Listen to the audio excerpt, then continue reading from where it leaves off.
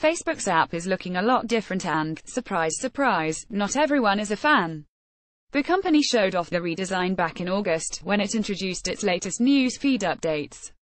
But the revamped mobile app is still gradually rolling out to everyone, so many people are just starting to see it. Predictably, as with most major Facebook updates, there's been a strong reaction even though the update isn't finished rolling out yet. The app is now really grey, and looks much flatter, with comments looking more like chat messages than a threaded conversation. Facebook says the update is meant to make news feed easier to navigate, but not everyone is convinced. While a significant redesign can always be a bit jarring the first few times you see it, many are calling the new look, with its redesigned icons and rounded corners, cartoonish, the new navigational icons in the Facebook app. Image Facebook but Facebook's reasoning holds more weight than you may think, explains Corey Handy, VP of Design at Shift. The grey dull colors are on purpose, because of its neutrality, it is frequently used as a background color. It makes other colors pop, he says.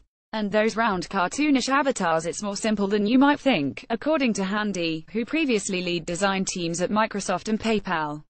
Why make an avatar image round while your face is more round than a box, right also, from a visual design perspective, the content is boxed, and if the avatars are boxed too, it makes the user have to divide content from people's faces.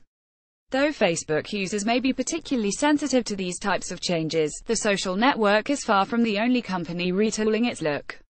As we pointed out when the update first released Twitter also redesigned its app to feature round avatars and new fonts. In Handy's view, both companies have drawn inspiration for their new look from what may seem like an unlikely source Instagram. It's easy to forget now, but in May 2016 the company rolled out a major redesign. That revamp brought users a cleaner, flatter look complete with more subtle navigational icons and a minimalist black and white design. Both Facebook and Twitter have been influenced by Instagram's past design changes, Handy says. This new design thinking is basically the next safe design, when 12 years ago it was a risky design.